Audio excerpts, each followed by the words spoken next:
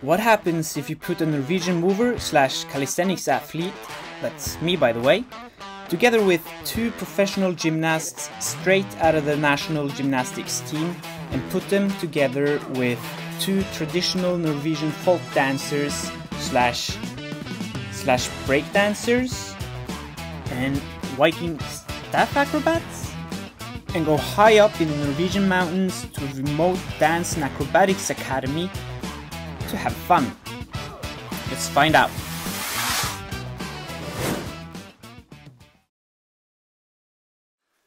It's a new day at Frikarsmia in Valdres and um, today we're gonna do some dancing. Halling dance to be specific, which is an old Norwegian folk dance, which is pretty similar to breakdance actually, somewhat. So this is gonna be pretty exciting day. But I guess you guys will see that.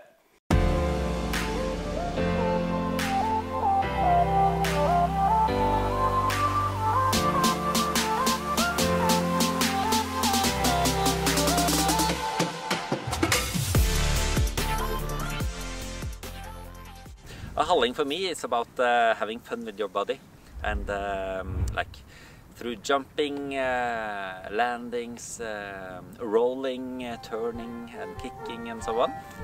And people have been doing that in Scandinavia for at least 3000 years. We can find the movements in petroglyphs. And uh, it's a living tradition, so uh, here in Valdres you don't have uh, breakdancing, but you have halling dancing.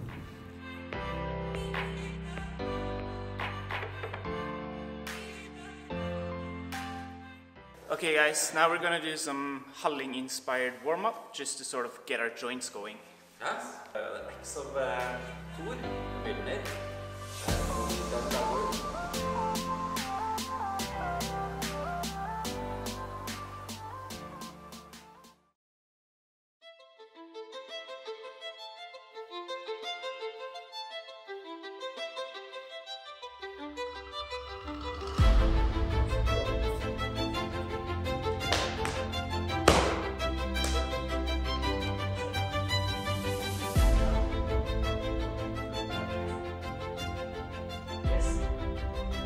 台湾。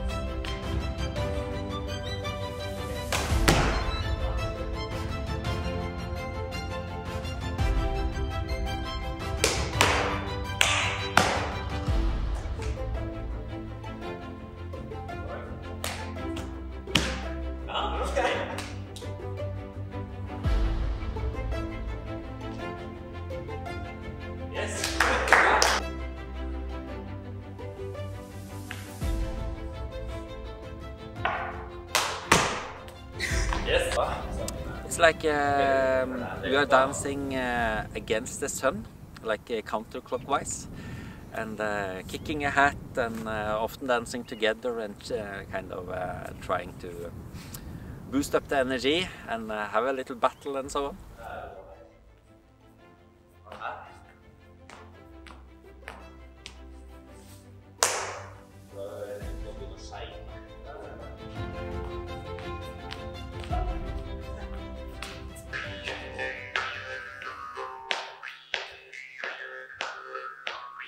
Let's do the same, but this time with someone who knows their stuff, alright?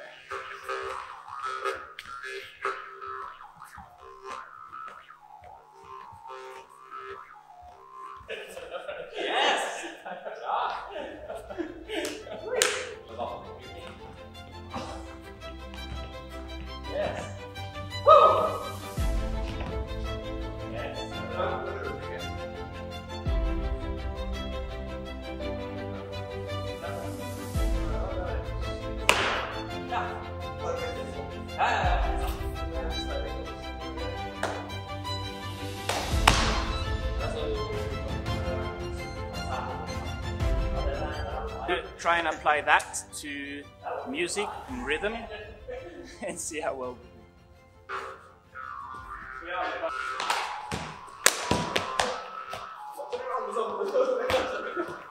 And wh- what about this hat kick? Does that have a particular story? Yeah, you know, um, back in the days, uh, the ceilings were a bit lower uh, in the old houses of Norway. So uh, it was about to kind of um, kick uh, the ceiling or um, uh, some shelves and so on. And uh, as you grew uh, up, you tried to kick higher ceilings. But in the beginning of the 1800s, uh, ki- um, like boys were called to mil- military and they were practicing outdoor and they had no ceiling. So then they collected some money in some hats or in some pockets and uh, put on a stick. And the one which were uh, best in kicking uh, earned some money. So we're gonna try and handstand with rhythm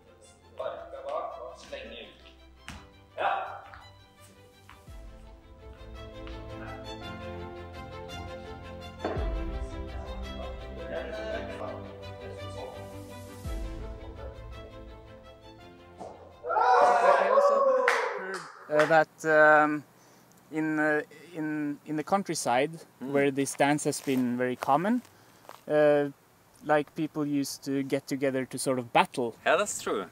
And um, actually, back in the days, uh, they often um, met on the mountains during the summer to do battles. A lot of uh, couple dancing, but in the end of the night, it was usually halling, which were uh, played by the fiddlers, which is a bit more aggressive uh, dance. And the one kind of, if you were um, unbattled, you might uh, have been called a frikar, which is also the name that we took for the dance company.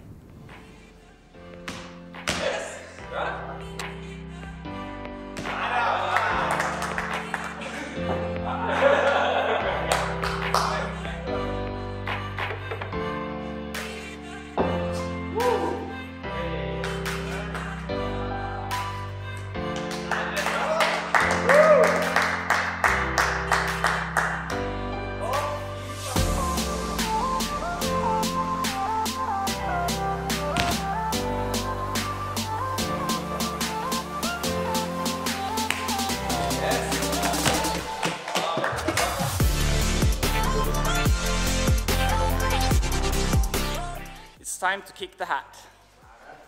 The hat is out of the box.